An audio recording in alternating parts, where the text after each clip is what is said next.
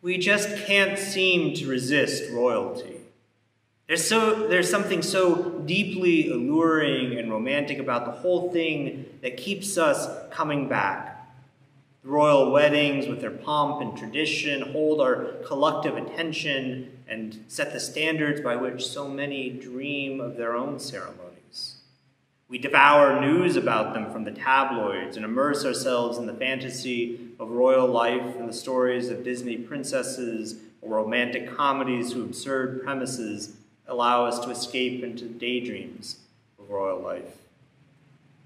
It doesn't even have to be the royals. It can be things that are monarch adjacent, like the aristocracy. I remember when I was fresh out of seminary and serving in my first church, I would often join others on staff for lunch and listen as they talked about this new show that was on the air at the time called Downton Abbey. Now, being right out of grad school, I, had, I didn't own a television set and had absolutely no idea what they were talking about. Nonetheless, I listened as they gossiped about the Dowager Countess and the whole Crawley family. That Anglophile tendency is especially pronounced within the Episcopal Church and presumably here in the Anglican Church of Canada. When our Archbishop was invited to preach at Harry and Meghan's wedding, the mixture of joy and smugness was palpable across certain church circles back home. And I remember when I was in Chicago, nearing my ordination and being given a tour of the high Anglo-Catholic congregation in town, being shown with hushed tones the sanctuary hangings that had been made from the actual coronation fabric from some queen or king. But why? Why do we give such high esteem to the monarchy, whether it is the British or some other countries, real or fictional? I found myself pondering this question recently while reading an admittedly random and off the wall book I had picked up at the library titled Who Owns England? How We Lost Our Green and Pleasant Land and How to Take It Back.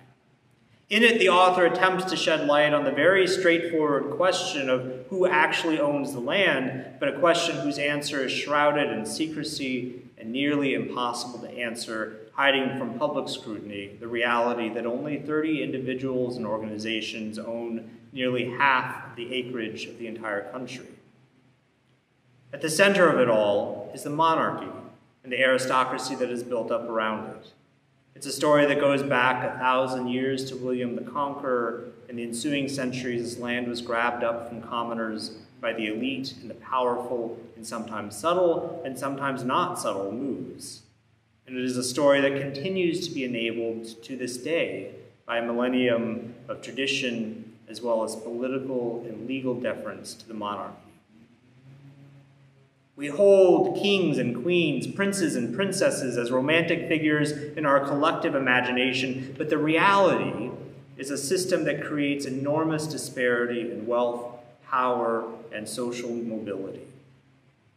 Reality is that the land was taken from the people, and the wealth of the land was taken from the people, and their sons and daughters were taken from the people to fight in the wars of kings and to serve in their households and to plow their fields.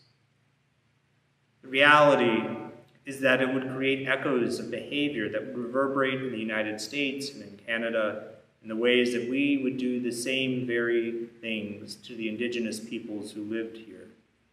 In my old country, we did it in the name of progress and Christian zeal. In this country, we did it in the name of the crown. And we stole the land, and we stole the wealth of the land, and we stole their sons and daughters. And we are still coming to terms with the magnitude of what we took and what we lost. None of this would surprise Samuel, of course. When the Israelites came to him that day, demanding that he anoint a king to rule over them, Samuel warned them as much. A king will take your land, a king will send your sons into war and take your daughters to labor in his kitchens and fields. A king will take all your wealth until you are completely and utterly beholden to them. Yes, that is fine, the people responded. Just hurry up and give us a king. After all, all the other nations had kings. All the other nations were beating them in battle. and all the other nations were quickly surpassing them in stature, and they were afraid of losing their esteem on the international stage. And besides, everyone loves a royal wedding. But it is in God's and Samuel's acquiescence to the demands of the Israelites that we learn the true cost of a king is the rejection of God. God calls us to be the people of God, a people set apart and not ruled over by the powers of greed, oppression, and suffering. We are called to put our trust in God and not put our trust in wealth, war, and power. But we reject God.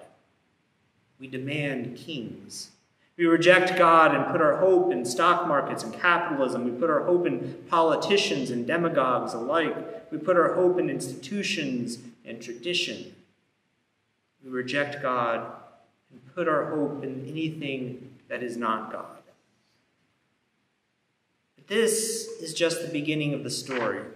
There is so much left still to come, both then and now. Even as the Israelites celebrated their new king Saul, even as we continue seeking new places in which to put our trust and hope, God stays with us.